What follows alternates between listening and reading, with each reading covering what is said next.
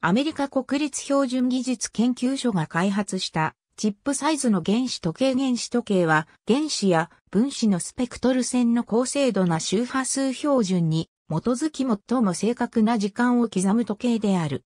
高精度のものは10-15程度、小型化された精度の低いものでも10-11程度の誤差である。原子時計に基づく時刻計を原子時と呼ぶ。現在の SI 秒及び国際原子時は原子時計に基づく。原子時計の精度の向上。縦軸は1日あたりの誤差、横軸は西暦を表す。ニスと海1では、レーザー光によって原子の熱運動を低減することで精度を上げている原子や分子はスペクトル吸収線、基線を持ち、水晶振動子などよりも高精度な周波数標準となる。周波数は時間の逆数であるから、時間を高精度で測定できる。SI 秒の定義もこの性質を利用している。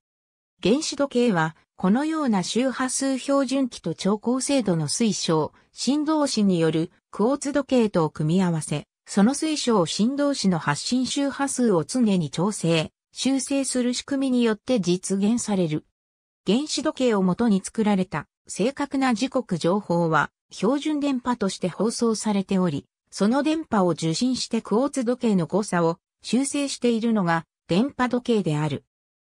原子時計には次のような様々なタイプがある。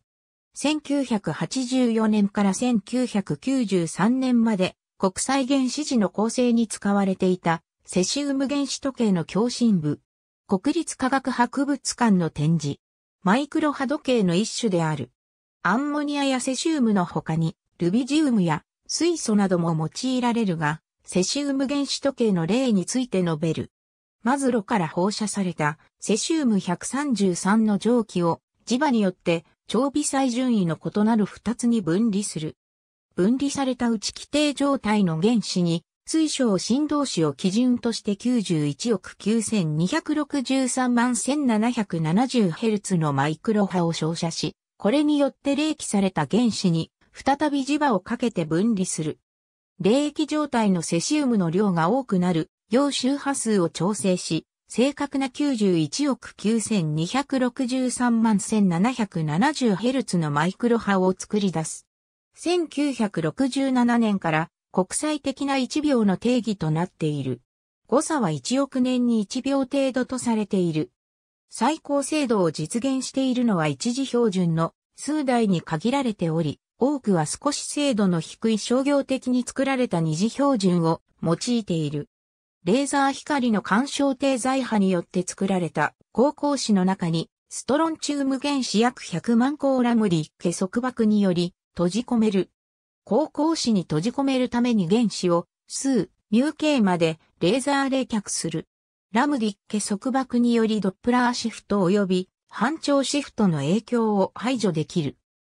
さらに、高校子を構成するレーザーの波長を適切に選定するあるいは魔法周波数と称することにより、ストロンチウム原子の時計繊維の規定状態及び冷気状態における光格子レーザーに起因するエネルギー順位のシフトの差をほぼゼロとすることができるため、光シフトの影響が極めて少ない。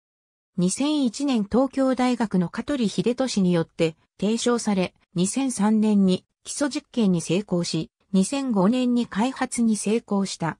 セシウム原子時計を超える原子時計として期待されている。周波数コムを使い、より高い周波数の使用により安定度を上げる。理論的には、セシウム原子時計の1000倍の300億年に1秒の精度がある。2009年現在16桁の精度が実現している。2006年10月の国際度量行委員会で、秒の二次表現として採択された。2013年、カトリはストロンチウム原子分光に成功した。共鳴周波数幅は 7.8kHz であった。2015年2月、香取、高本正夫らは、ストロンチウム光格子時計2台を比較することにより、1018前半の精度を確認したと発表した。ストロンチウム光格子時計をしのぐ精度を持つ可能性のあるものとして、イッテルビウム171高格子時計の開発が進んでいる。産業技術総合研究所、計測標準研究部門時間周波数課の後期先上なり、研究課長、安田正美、主任研究員らの開発による。国体輻射や核スピンの影響が少なく精度が高いと考えられている。2010年現在の周波数は518兆2958億3659万864プラスマイナス 28Hz である。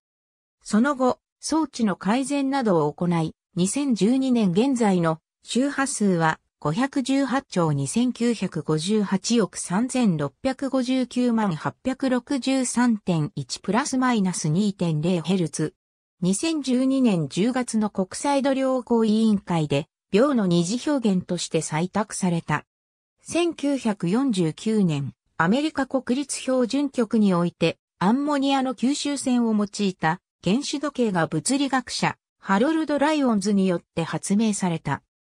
また、アメリカで発明され、イギリス国立物理学研究所のルイ・エッセンらによって開発されたセシウム原子時計は1955年から1958年まで国際原子時を刻み実用化第1号となった。その後、1967年の第13回国際度量構想会において現在用いられている国際単位系の秒の定義セシウム133の原子の規定状態の2つの超微細順位の間の繊維に対応する放射の周期の91億9263万1770倍に等しい時間が決定された。1991年12月にヒューレット・パッカードが発表したセシウム原子時計 HP5071A の誤差は160万年に1秒としてギネスブックに最も正確な時計として認定されていた。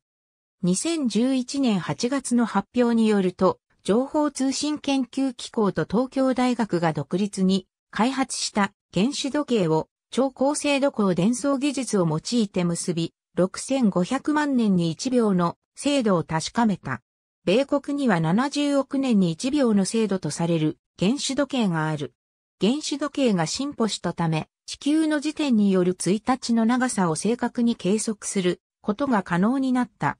1秒の長さは1820年頃のロードに基づいて定義されていたために、セシウム原子の繊維のほどによる秒の定義とは合わなくなった。そのため何年かに1回ウルー秒を挿入して時間調整をしている。ありがとうございます。